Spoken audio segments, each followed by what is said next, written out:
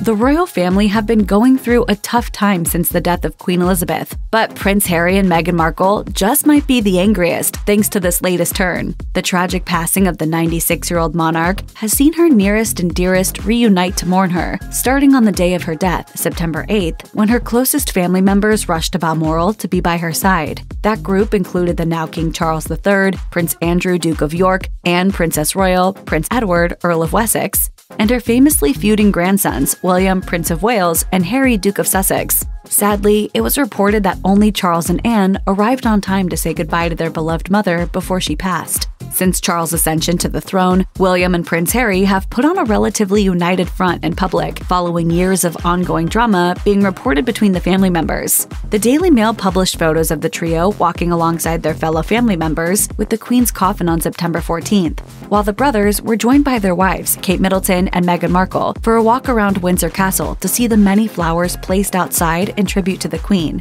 But while it seemed as though the warring family may have at least temporarily buried the hatchet, a new report is claiming things may not be as harmonious as they've seemed.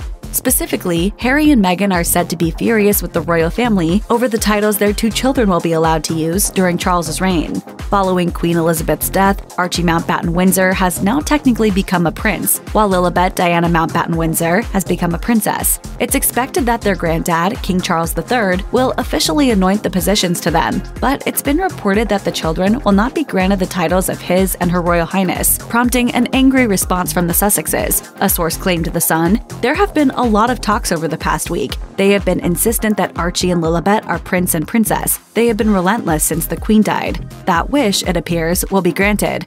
As for why the late Queen's great grandchildren won't be granted the Royal Highness titles, that's reportedly because they, like their parents, are not expected to be working royals within the family. But as the Daily Beast points out, other non working royals, such as Prince Andrew's daughters Beatrice and Eugenie, do have HRH titles. As royal watchers will already know, Harry and Meghan stepped down as working members of the royal family in 2020. That meant the Duke and Duchess of Sussex could no longer join in with some things reserved for working royals, one of which was evidenced on September 14th when Harry was, per Daily Mail, excluded from saluting during a coffin procession. Also not allowed to salute was Harry's uncle, Prince Andrew, Duke of York, who was stripped of his HRH title in January. Writing for the Daily Beast, royal correspondent Tom Sykes reported that under current rules, Archie and Lilibet should be entitled to HRH titles automatically, but the fact that Harry and Meghan were asked to stop using their own HRH titles and accepted the request to do so is reportedly making the matter more complicated than it otherwise would be. By allowing the children to be titled as prince and princess, King Charles' decision seems to have been made as something of a compromise.